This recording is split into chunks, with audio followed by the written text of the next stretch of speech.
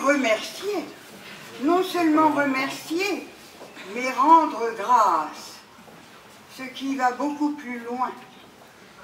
Pour cette exposition, rendre grâce pour tous ceux qui y ont participé, à tous les niveaux, et justement, euh, ceux qu'on n'a pas applaudis encore, le petit personnel qui est très très important.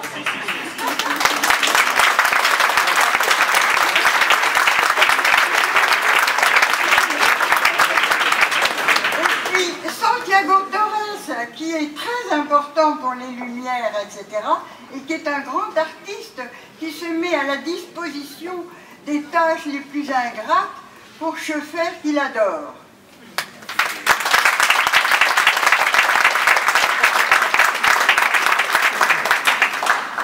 Alors, je vais vous dire encore un tout petit mot. Schoeffer était un humaniste. Ça a été évoqué ici. Euh, sa façon d'aborder la technique, les techniques les plus contemporaines, elle est à l'inverse de toutes les peurs que le public a toujours pour ce qui est nouveau. Toutes les peurs dans le futur, du futur, toutes les peurs euh, de la mauvaise utilisation de toutes ces inventions.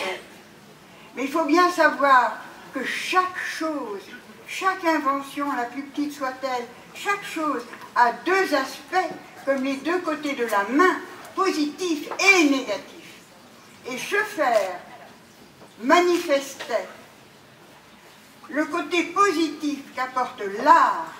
Il disait que l'art est le meilleur, le plus beau euh, moyen pédagogique.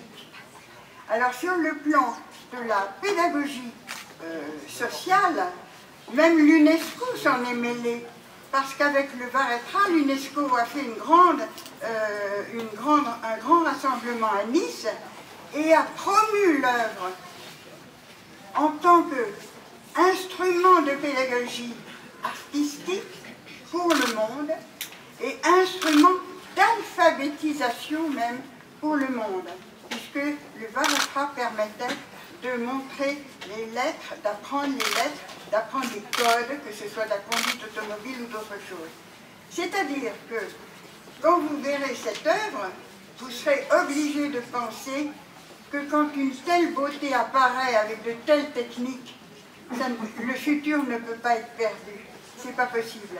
Et c'est le rôle de l'art c'est le rôle de l'art de transmuter toutes ces choses et de, créer la civilisation. Parce que qu'est-ce qui reste de la civilisation grecque? Qu'est-ce qui reste de toutes les grandes civilisations? Il reste les manifestations artistiques. Voilà, le reste est balayé. Et on dit... Et on dit... Et on dit, ah, science et technologie, c'est la triade nécessaire qui contribue à la création continue, puisque la vie est création continue. Alors n'ayez pas peur, je dis comme l'ancien pape, n'ayez pas peur. Messieurs, maintenant vous êtes rassurés. On vous invite à découvrir l'exposition. Alors, on va probablement le faire euh, par